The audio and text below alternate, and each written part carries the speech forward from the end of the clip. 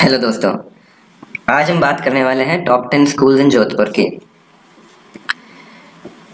इस लिस्ट में हमने टॉप टेन स्कूल कैसे चूज़ करी है, इसमें हमने तीन मेन क्राइटेरिया लिया है। सबसे पहले कि स्कूल एटलीस्ट पाँच साल पुरानी होनी चाहिए, उसमें सारे क्लास होने चाहिए फ़र्स्ट टू ट्वेल्थ के, और इजीली रीचेबल होनी चाहिए। यानी सिटी से तीस किलोमीटर की रेडियस के अंदर ये स्कूल्स होगी। यदि आप अपने बच्चे का स्कूल चेंज करना चाह रहे हैं या फिर पहली बार किसी स्कूल में एडमिशन लेना चाह रहे हैं तो स्कूल चूज़ कर लेना बहुत ज़रूरी है। एक अच्छा स्कूल आपके बच्चे के करियर के लिए, उसके एजुकेशन के लिए और उसके नेटवर्क के लिए बहुत इंपॉर्टेंट है। ना सिर्फ़ एक स्कूल से बच्चे को एजुकेशन मिलती है, साथ ही साथ वहाँ का जो उसका सर्कल जो नेटवर्क बनता है, वो उसके साथ ज़िंदगी भर काम आता है। एक स्कूल के जो मॉरल्स या वैल्यूज़ होते हैं, क्योंकि एक बच्चा अपने ज़िंदगी का सिग्निफिकेंट सिग्निफिकेंट हिस्सा स्कूल में बिताता है, इसलिए वहाँ ही उसके मॉरल्स और वैल्यूज़ बिल्ड होते हैं। तो ये भी बहुत इंपॉर्टेंट है कि स्कूल में मॉरल्स या वैल्यूज़ पे काम किया जाता है कि नहीं। तो ओवरऑल आपके इस छोटे से डिसीज़न का, बच्चे के करियर पर, उसकी लाइफ पर एक बहुत लॉन्ग टर्म इम्पैक्ट होने वाला है, इसलिए स्कूल को चूज़ बड़ी केयरफुली करना चाहिए। तो आज हम देखने वाले हैं top ten schools in Jodhpur उनके प्रोज एंड उनके कॉन्स कौन सा स्कूल चूज़ करें, वह अपने सहूलियत के हिसाब से आफ्टर रीडिंग कंप्लीट लिस्ट कर सकते हैं। यदि आपके कुछ विचार हैं हमारे लिस्ट के बारे में तो वो भी आइए बात करते हैं नंबर टेन स्कूल से। इसी तरीके से हम नंबर वन तक बात करेंगे। नंबर टेन स्कूल है B R Birla B R Birla school Chopasni housing board में सिचुएटेड है. इसके पॉजिटिव बातें हैं क्या एडमिशन प्रोसेस इजी है. यहाँ की फ़ीस रिलेटिवली कम है और काफ़ी बड़ा यहाँ पे ग्राउंड है इंफ्रास्ट्रक्चर काफ़ी बड़ा है. इसके जो नुकसान है छोटे बड़े, वो है कि सिटी से थोड़ा दूर है, बहुत दूर नहीं लेकिन थोड़ा दूर है. और यहाँ के जो सीनियर बच्चे हैं, वो काफ़ी नोटोरियस है. नाइन्थ नंबर पे आते हैं नाइन्थ नंबर पर स्कूल आ रही है सरदार चिल्ड्रन स्कूल या इसको आप दून स्कूल भी कह सकते हैं, क्योंकि अभी रिसेंटली इनका 2017 में दून स्कूल देहरादून के साथ कोलेब्रेशन हुआ है। स्कूल के पॉजिटिव्स क्या हैं कि रिसेंटली रिनोवेटेड है। ये सिटी के अंदर सिचुएटेड है सरदारपुरा में and it has huge ground one of the largest and oldest school in the city and uh, जैसा कि मैंने बताया इसका रिसेंटली दून स्कूल के साथ कोलेब्रेशन हुआ है तो वहाँ से इनको काफ़ी टेक्नोलॉजी टीचर एक्सेट्रा मिलने वाले हैं। इसके कॉन्स क्या है कि इसकी रिसेंटली फ़ीस काफ़ी बढ़ गई है और जो इसका कोलेब्रेशन हुआ है उसके बाद इसका परिणाम कैसा आता है ये अभी तक देखना होगा। नंबर एट पर आती है विद्याश्रम इंटरनेशनल स्कूल अगेन थोड़ा सा सिटी से दूर सिचुएटेड है और इसका इंफ्रास्ट्रक्चर एक्सेट्रा बहुत बहुत प्यारा बना हुआ है। नई स्कूल है, लगभग छः सात साल हुए इसको डेवलप हुए हैं। इसके कॉन्स ये हैं कि बहुत बड़ी इसकी हिस्ट्री नहीं है, जो इसका रिकॉर्ड को प्रूव करती है। प्लस इसके एलुमनाइज ने बाहर के वर्ल्ड में कैसे परफॉर्म किया, इसका भी बहुत बड़ा डेटाबेस नहीं है। और जैसा कि मैंने बताया सिटी से थोड़ा दूर है तो आपके बच्चे को हर दिन लगभग पच्चीस से तीस मिनट आने में और जाने में खर्च करने पड़ेंगे। नंबर सेवन पर आता है केवी केंद्रीय विद्यालय। केवी इंडिया के बहुत सारे सिटीज़ में है और ऑब्वियसली बहुत ही अच्छा ब्रांडेड स्कूल है। uh, यहाँ पे सेपरेट गाइड और स्काउट की यूनिट्स है यहाँ की फ़ीस रीजनेबल है। जोधपुर में केवी का इंफ्रास्ट्रक्चर बहुत अच्छा है। इसकी लोकेशन भी सेंट्रल है और ये एयरफोर्स एरिया में नियर पोलो ग्राउंड सिचुएटेड है।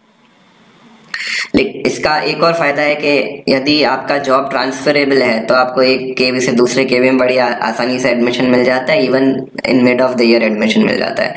कौन सी है कि यहाँ पे केवल 10 परसेंट सीट सिविलियन या नॉन गवर्नमेंट एम्प्लॉयज़ के लिए रजिस्टर्ड है तो यहाँ पे एडमिशन पाना थोड़ा सा डिफ़िकल्ट है, इसीलिए हमारे लिस्ट में नंबर सिक्स पर है। नंबर सेवेंथ पर है। नंबर सिक्स पर आते हैं। नंबर सिक्स पर है सेंट्रल अकेडमी जोधपुर की one of the famous school है सेंट्रल अकेडमी इसका सबसे बड़ा फ़ायदा ये है कि अक्रॉस जोधपुर इसकी बहुत सारी ब्रांचेस हैं। यहाँ पे फ़ीस भी नॉमिनल है। एडमिशन चूँकि इतनी सारी ब्रांचेस हैं तो एडमिशन बड़े आराम से यहाँ पर हो जाता है। uh, लेकिन इसके जो नुकसान है कि क्वांटिटी ओवर क्वालिटी यहाँ पे लगभग चूँकि सभी का आसानी से एडमिशन हो जाता है तो एक प्रीमियम क्राउड यहाँ पे नहीं आता। रिजल्ट्स आर मॉडरेट बुरे रिजल्ट्स नहीं, लेकिन एवरेज रिजल्ट्स हैं। एक्सेप्शनल भी नहीं कहा जा सकता। और कुछ कुछ इसके कैंपसेस बड़े क्रैम्ड है, जहाँ पे प्रॉपर इंफ्रास्ट्रक्चर खेलने की जगह इत्यादि नहीं है। लेकिन कुछ रिसेंटली डेवलप्ड कैंपसेस काफ़ी अच्छे हैं। तो आपको ये चूज़ करना होगा कि कौन से कैंपस में आप एडमिशन ले रहे हैं। उस हिसाब से आप सेंट्रल अकेडमी को चूज़ कर सकते हैं। प्लस सेंट्रल अकेडमी की ब्रांचेस भी राजस्थान और इंडिया में काफ़ी और जगह है तो अगर आप ट्रांसफ़र कर ट्रांसफरेबल जॉब में है तो आपको दूसरी जगह एडमिशन रिलेटिवली आसानी से हो जाएगा। नंबर फिफ्थ पर आती है सेंट पॉल स्कूल ये one of the oldest school है जोधपुर की।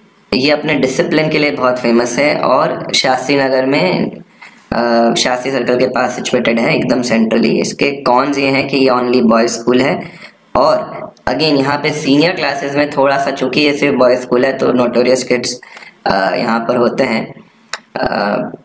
और कहीं ना कहीं अभी ये कहा जाता है कि अगर आप कोविड एनवायरनमेंट में पढ़ें तो you will be much more comfortable further तो ये चीज़ आप डिसीज़न उस हिसाब से ले सकते हैं।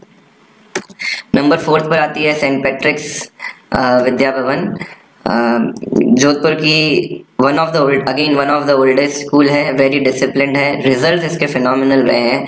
इसने कई सालों तक लगातार जोधपुर के बोर्ड टॉपर्स दिए हैं. अगेन सेंट्रली लोकेटेड है. कौन है कि सिर्फ़ गर्ल्स स्कूल है and it is really difficult to get admission बहुत लंबी लाइन लगती है यहाँ पर इवन फॉर्म लेने के लिए. नंबर थ्री पर आता है सेंटेंस पब्लिक स्कूल सेंटेंस के भी रिज़ल्ट फिनोमिनल रहे हैं। बहुत सालों तक इसने क्वालिटी रिज़ल्ट दिया है। साथ ही साथ बच्चों की पर्सनल डेवलपमेंट पे यहाँ पे काफ़ी काम किया जाता है। यहाँ के बच्चों की इंग्लिश फ्लुएंसी बाकी सभी स्कूल से बेहतर होती है। कौन सी है कि इनके पास बड़ा प्लेइंग ग्राउंड नहीं है और प्लस लास्ट कुछ समय से यहाँ की रेपुटेशन थोड़ी सी डाउनग्रेड हुई है। Still it is a really good school to get in to number two पर हमारे लिस्ट में आ रहा है राजमाता Krishna Kumari R K K girls public school. ये रॉयल फैमिली के द्वारा एस्टेब्लिश की गई स्कूल है, one of the oldest school है। बहुत अच्छे इसने भी रिज़ल्ट दिए थ्रू आउट इनका एनुअल फ़ंक्शन पूरे जोधपुर में फ़ेमस है। और very well executed extracurricular cocurricular सभी एक्टिविटीज़ पर यहाँ पे बहुत ध्यान दिया जाता है।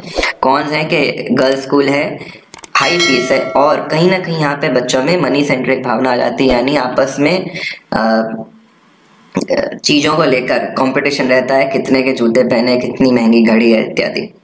लास्ट और रैंक वन पर जो अनडाउटेड विनर है that is Delhi public school Delhi public school लगभग 12 से 15 साल पहले शुरू शुरू हुई थी। बहुत बड़ा कैंपस है इसका one of the best infrastructure है।